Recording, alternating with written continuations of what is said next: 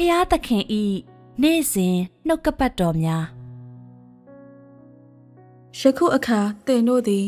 ဖျားသခင်ဤလူများဖြစ်လာရန်လေ့လာလိုက်စားရမည်ဖြစ်ပြီးမှန်သောလမ်းကြောင်းပေါ်သို့အပြည့်အဝစတင်ဝင်ရောက်ရမည်ဖျားသခင်ဤလူများဖြစ်ရန်ဆိုသည်မှာနိုင်ငံတော်ခေတ်ထဲသို့ဝင်ရောက်ခြင်းကို ဆိုလိုသည်ယနေ့သင်တို့သည် နိုင်ငံတော်ဤသင်တန်းတဲသို့တရားဝင်စတင်ဝင်ရောက်ပြီးသ င်တို့၏အနာဂတ်အသက်တာများထဲ၌ရခင်ကကဲ့သို့ပြည့်ဟိခြင်းနှင့်ပေါ့ပြက်ခြင်းများရက်စဲသွားရမည်။ရင်းကဲ့သို့သောရခင်ကအသက်တာများသည်ဖျားသခင်တတ်မှတ်ထားသောစံချိန်များကို ပြည့်မီအောင်မစွမ်းဆောင်နိုင်ပါ။အကယ်၍သင်သည် အလျင်စလိုဖြစ်เสียတခုများမရှိဟုခံစားရပါကသင်သည်တင့်ကိုယ်တင်တိုးတက်အောင်လုပ်ရန်စံတာမရှိကြောင်းသင်ဤအသက်ရှင်လိုက်စားမှုမှာ ဇဝေဇဝါဖြစ်ပြီးရှုပ်ထွေးနေကြောင်းသာမကတင်သည်ဖျားသခင်ဤအလိုတော်ကို ပြည့်မီအောင်မစွမ်းဆောင်နိုင်ကြောင်းဤအရာက ပြသနေသည်နိုင်ငံတော်ဤတင်နန်းထဲသို့ဝင်ရောက်ခြင်းဆိုသည်မှာဖျားသခင်ဤလူများ၌ရှိသော အသက်တာစတင်ခြင်းကို ဆိုလိုသည် ထို့သောသောတင်နန်းကိုလက်ခံရန်တင်ဆန္ဒရှိသလုံးတင်၌အလျင်စလိုဖြစ်သော အသိစိတ်ရှိရန်စန္ဒရှိသလောဖျားသခင်ဤဆုံးမပဲ့ပြမှုအောက်တွင် အသက်ရှင်ရန်တင်စန္ဒရှိသလောဖျားသခင်ဤပြစ်တင်ဆုံးမမှုအောက်တွင် အသက်ရှင်ရန်တင်စန္ဒရှိသလော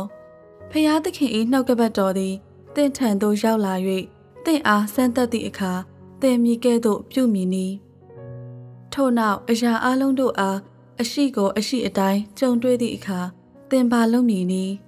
အတိတ်ကသင်ဤအာယုံသည်အသက်တာအပေါ်မရှိခဲ့ပါယနေ့သင်သည်အသက်တာဤလက်တွေ့ဘဝထဲသို့ဝင်ရောက်ရမည်ဖြစ်ပြီးသင်ဤအသက်တာစိတ်နေသဘောထားထဲ၌အပြောင်းအလဲများဖြစ်ရန်လှုံ့ဆော်ရမည်ဤအရာသည် နိုင်ငံတော်သားများရယူရမည်အရာဖြစ်သည်ဖျားသခင်ဤလူများဖြစ်သော သူအလုံး၌အသက်ကိုပိုင်ဆိုင်ရမည်၎င်းတို့သည် နိုင်ငံတော်ဤတင်နန်းကိုလက်ခံရမည်ဖြစ်ပြီး၎င်းတို့ဤအသက်တာစိတ်နေသဘောထားအတွင်းအပြောင်းအလဲများဖြစ်ရန်လှုံ့ဆော်ရမည်ဤအရာမှာနိုင်ငံတော်သားများအားဖျားသခင်တတ်မှတ်သောအရာဖြစ်သည်နိုင်ငံတော်သားများအတွက်ဖျားသခင်ဤတတ်မှတ်ချက်များမှာအောက်ပါအတိုင်းဖြစ်သည်၁၎င်းတို့သည်ဖျားသခင်ဤတာဝန်ပေးစိတ်ခိုင်းချက်များကိုလက်ခံရမည် ဆိုလိုသည်မှာ၎င်းတို့သည်နောက်ဆုံးသောကာလ၌ဖျားသခင်၏အလုတ်ထဲမှပြောသောနှုတ်ကပတ်တော်အလုံးကိုလက်ခံရမည်။နှစ်၎င်းတို့သည် နိုင်ငံတော်၏တည်နန်းထဲသို့ဝင်ရောက်ရမည်။သုံး၎င်းတို့၌ဖျားသခင်၏တိုးထီခြင်းကိုခံရသော စိတ်နှလုံးများရှိရန်၎င်းတို့လှုပ်ဆောင်ရမည်။သင်၏စိတ်နှလုံးအားဖျားသခင်ထံသို့ လုံးလုံးလျားလျားလှည့်ပြီးသင်၌ တာမန်ဝိညာဉ်ရေးရာအသက်တာရှိသည့်အခါသင်သည်လွတ်လပ်သောနေပယ်ထဲတွင် အသက်ရှင်ရလိမ့်မည်ဆိုလိုသည်မှာသင်သည်ဖျားသခင်၏ချစ်ချင်းမေတ္တာအားဖြင့်ကာကွယ်မှုနှင့်စောင့်ရှောက်မှုအောက်တွင် အသက်ရှင်ရလိမ့်မည်ဖျားသခင်၏ကာကွယ်မှုနှင့်စောင့်ရှောက်မှုအောက်တွင်သင်အသက်ရှင်သည့်အခါမှသာသင်သည်ဖျားသခင်နှင့်ဆက်ဆိုင်လိမ့်မည်၄၎င်းတို့သည် ဖျားသခင်၏ရယူခြင်းကိုခံရမည်ငါ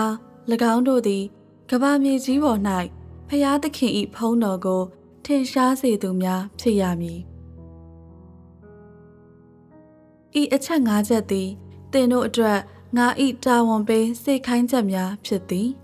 ငါဤစကားများကိုဖျားသခင်ဤလူတို့ထံပြောခဲ့ပြီးဖြစ်၍အဆိုပါတာဝန်ပေးစိတ်ခိုင်းချက်များကို အကယ်၍သင်လက်မခံလိုပါက တင့်ကိုငါအတင်းအကျပ်လက်ခံခိုင်းမည်မဟုတ်တို့ရာတွင်အကယ်၍ထိုစကားများကိုသင်အမှန်တကယ်လက်ခံပါကသင်သည်ဖျားသခင်၏အလိုတော်ကိုဆောင်ရွက်နိုင်လိမ့်မည်ယနေ့ဖျားသခင်၏တာဝန်ပေးစိတ်ခိုင်းချက်များကိုသင်တို့စတင်လက်ခံကြပြီးနိုင်ငံတော်သားများဖြစ်လာရန်နှင့်နိုင်ငံတော်သားများဖြစ်ရန်လိုအပ်သောစံချိန်များနှင့်ပြည့်မီအောင်လှုံ့ဆော်ကြလော့ဤအရာသည် ဝင်ရောက်ရန် ပထမဆုံးခြေလှမ်းဖြစ်သည်အကယ်၍သင်သည်ဖျားသခင်၏အလိုတော်ကို လုံးလုံးလျားလျားဆောင်ရွက်ရန်အလိုရှိပါကအအဆိုပါတာဝန်ပေးစိတ်ခိုင်းချက်၅ချက်ကိုတင်လက်ခံရပြီအကယ်၍တင်သည် ထိုအချက်များနှင့်ပြည့်မီအောင် အသက်ရှင်နိုင်စွမ်းရှိပါကတင်သည်ဖျားသခင်ဤစိတ်တော်နှင့် တွေ့တော်သူဖြစ်ကဖျားသခင်ဤကြီးမားစွာအသုံးပြုခြင်းကိုဧကန်အမှန်ခံရလိမ့်မည် ယနေ့အရေးပါသောအချက်မှာနိုင်ငံတော်ဤတင်နန်းတဲသို့ဝင်ရောက်ရန်ဖြစ်သည်နိုင်ငံတော်ဤတင်နန်းတဲသို့ဝင်ရောက်ခြင်းတွင်ဝိညာဉ်ရေးရာအတ္တတာပါဝင်သည်ရခင်ကဝိညာဉ်ရေးရာအတ္တတာအကြောင်းမပြောဆိုခဲ့ကြတော့လဲယနေ့တွင်တင်သည် နိုင်ငံတော်ဤတင်နန်းတဲသို့စတင်ဝင်ရောက်သည်နှင့်တပြိုင်နက်